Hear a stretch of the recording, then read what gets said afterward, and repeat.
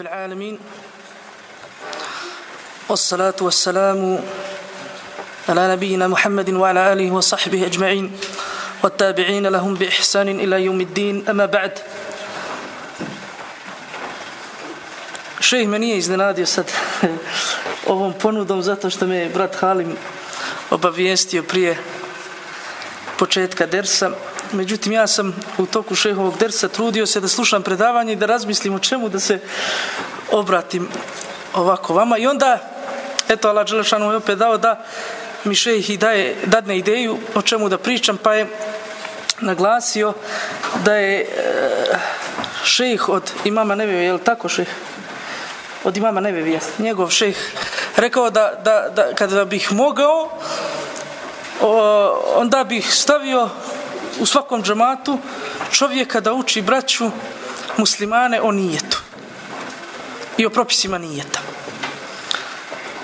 Ja sam skoro držao jedan drs braći u Geteborgu u vezi nijeta, pa eto malo da dio toga što je ostalo u glavi još da prenese mi dio, dio toga vama. Vi znate, braćo moja, da dva osnovna rukna svakog ibadeta, bilo da se radi o namazu, bilo da se radi o postu, bilo da se radi o, o hađu, bilo da se radi o sadaci, bilo da se radi o bilo kojoj vrsti ibadeta, moraju postojati dva rukna. To su ispravnost, iskrenost nijeta da to dijelo, taj ibadet, bude u skladu sa onim sa čime je došao naš poslanik sallallahu alaihi wasallam. Dokaza za to je puno. Uzmite samo da je jedno od značenja šehadeta upravo ovo. Da u svom ibadetu budeš iskren prema Allahu subhanahu wa ta'ala la ilaha illa Allah i da u tom ibadetu slijediš poslanika Muhammeda sallallahu alaihi wasallam Muhammeda Rasulullah Jel tako? Dokaza je puno. Kaže Fudail ibn Iyad, rahimahullah, u tefsiru ajeta iz sure Mulk, li jebluvakum ejukum ahsanu amala, da bi vas Allah dželle šanuhu iskušao, ko će od vas ispravnije postupati u svojim dijelima, kaže ko će biti iskreni i ispravni u svojim dijelima.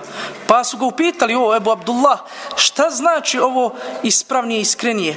Kaže, to jest da onaj ko ispravno uradi neko dijelo, dakle slijedići poslanika sallallahu alaihi sallam, ali ga nije uradio iskreno, neće mu biti primljeno. I suprotno, ukoliko bude iskreno, međutim ne bude u tome slijedi u poslanika Muhammed sallallahu alaihi sallam neće mu biti primljeno. To jest u istom vaktu, u tom ibadetu moraju se naći ova dva šarta. Mora biti iskreno i ispravno. Danas većina braće Alhamdulillah, opet je to ni'met i pokazuje njihovu ljubav prema sunetu poslanika sallallahu alaihi sallam, obraća puno pažnje kako da uspostavi ovaj drugi rukn, odnosno slijedjenje poslanika Muhameda sallallahu alejhi ve sellem zaboravljajući puno na onaj prvi rukn a to je nijet iskrenost u nijetu. Allahu poslanik sallallahu alejhi ve sellem u hadisu kojeg bilježi Abu Sa'id al-Khudri radijallahu ta'ala an gdje kaže ušao je kod nas Allahu poslanik sallallahu alejhi ve sellem u vremenu kada smo se prisjećali fitne o Mesihu, Mesihu Dejjalu. Pa Allahu poslanik sallallahu alejhi ve sellem čuo o čemu pričamo, pa je rekao, hoćete li da vas obavijestim o nečemu što je po meni opasnije za vas od samog deđala? Pa su rekli, naravno, Allahov poslaniće. S tim da učenjaci ehli sunneta, braće moja, su složni na tome da je najveća fitna opće značenja za ummet poslanika sallallahu alaihi wasallam jeste fitna deđala. Međutim, ovdje poslanik sallallahu alaihi sallam govori o pojedinačnoj fitni. Možda neko od nas ovdje, možda niko, neće dočekati fitnu deđala. Ali svako od nas će se suočiti sa ovom fitnom o kojoj sada govori poslanik sallallahu alaihi sallam, koja je opasnija za svakog od nas, a to je ona prv, onaj prvi rukn, to jest iskrenost u nijetu kaže Allahu poslanik sallallahu alejhi ve sellem i naziva tu fitnu širk al-hafi, širk skriveni. Od koga skriven? Od nas samih. Kako? Opet Allah poslanik sallallahu alaihi sallam objašnjava. Kaže, ustane čovjek da klanja.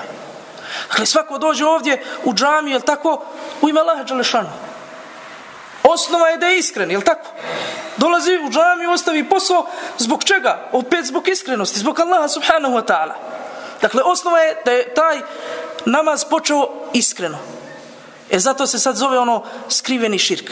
I u toku namaza primeti sa lijeve i desne strane skupinu ljudi koji ga posmatraju. I onda on možda je mislio malo taj namaz da skrati, jel tako? Čeka ga posao i vidio je tu ljude i onda šeitan prilazi i onaj skriveni širk mu ubacuje. Hajde malo, ako si mislio tri minuta, odgodi ga malo na sedam minuta da ljudi vide kako ti klanjaš. Jel tako ovaj hadis bilježe Ahmed ibn Mađe, šeh Albani, ga smatra ispravnim. Ja ću vam ovdje navesti samo nekoliko primjera, braćo moja, o iskrenosti i brige o iskrenosti koju je kod sebe imao Selef. Zbog čega Selef? Zbog čega ne govorim o iskrenosti poslanika sallallahu alaihi sallam i njegovih ashaba? Zato, braćo moja, što mnogi misle da je vrhunac iskrenosti mogao da dostigne samo poslanik sallallahu alaihi sallam i njegovi ashabi. I da nakon njega su ta vrata vrhunca iskrenosti zatvorena. Nema sumnje da Allah poslanik sallallahu alejhi ve sellem najbolji mu'min, najbolji od nas.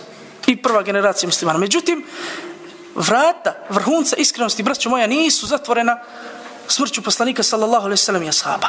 E, upravo ovi ljudi o kojima ću sad govoriti i navesti nekoliko primjera, jesu ljudi koji nisu vidjeli Allahovog poslanika sallallahu alejhi ve sellem. Međutim, to ih nije spriječilo da postignu vrhunac u iskrenosti i da vode brigu o tome. Primjer Abdurrahmana ibn Abilejle, jednog od učenijih tabi'ina, kaže se za njega da je puno klanjao na filu, a posebno noćni namaz. I kada bi osjetio da je neko, da je neko ušao u njegovu kuću, on bi se brzo vratio u svoju postelju i pravio se da spava. Tako da kada bi ovaj ušao kod njega i vidio ga na njegovoj postelji, rekao bi, ovaj se ne iftari od kreveta.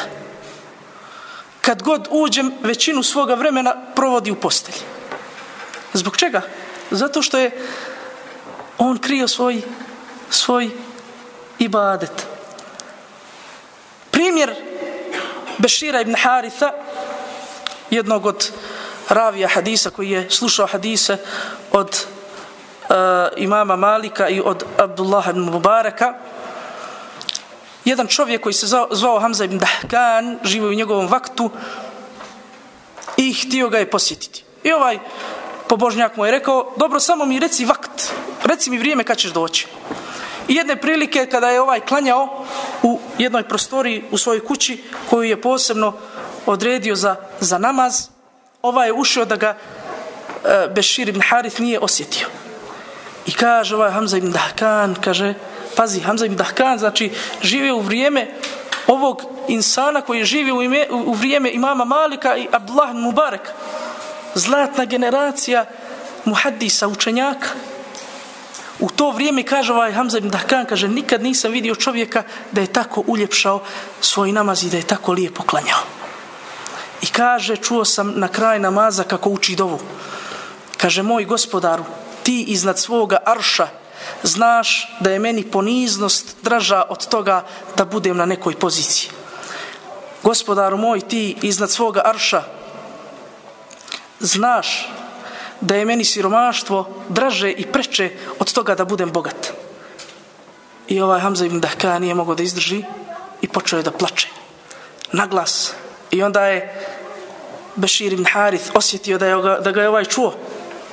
I kaže na kraj u dovi, kaže, gospodar moj, ti znaš da sam ja znao da je ovaj tu, ne bih ovo i uradio.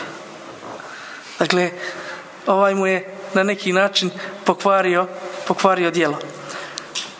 Kaže se za, za uh, Muhammed ibn Eslemu, jednog također od učenjaka hadisa, njegov drug prenosi ovu priču, kaže, družio sam se sa njim više od 20 godina, nikada ga nisam vidio predamnom da klanja na filu.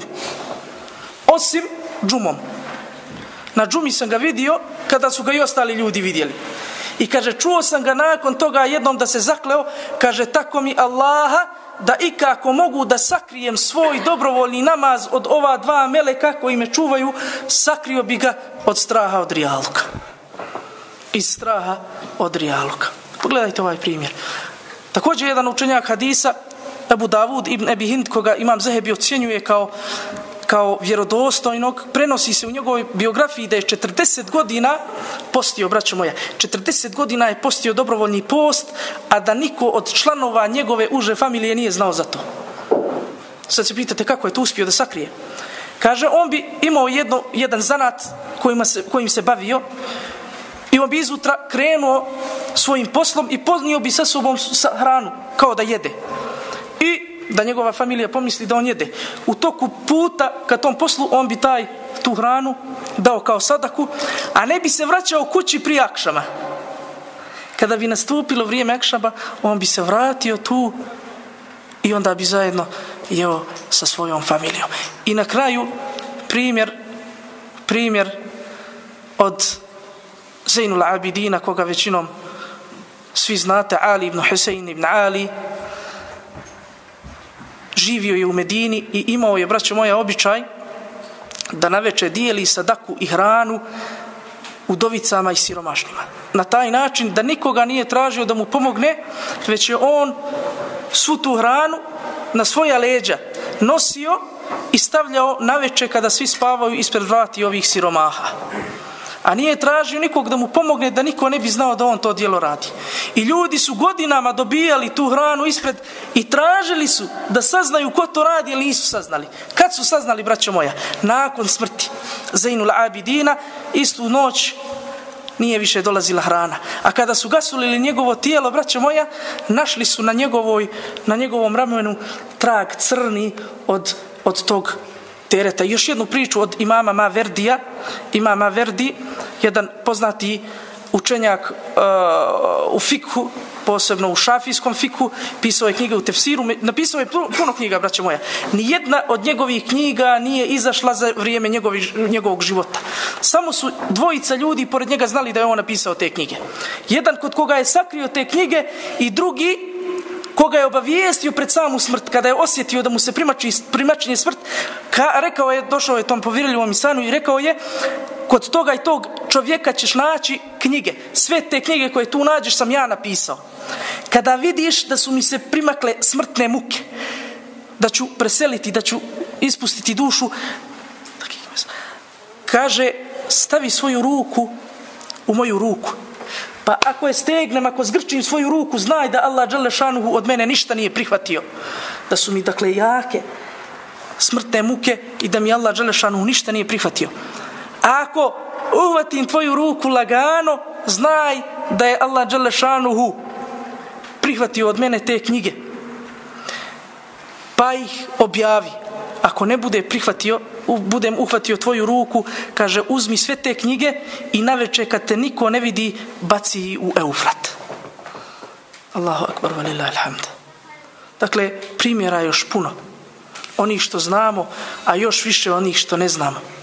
A budite vi od onih što ne znamo, inša Allahu ta'ala, pa ćemo, ako Bog da naći sva ta dijela na sudnjemu danu, ako Bog da kao planine. Subhanak Allahumma bihamdika, švedu an la ilaha ilanta, estakvarka wa tubu ilik.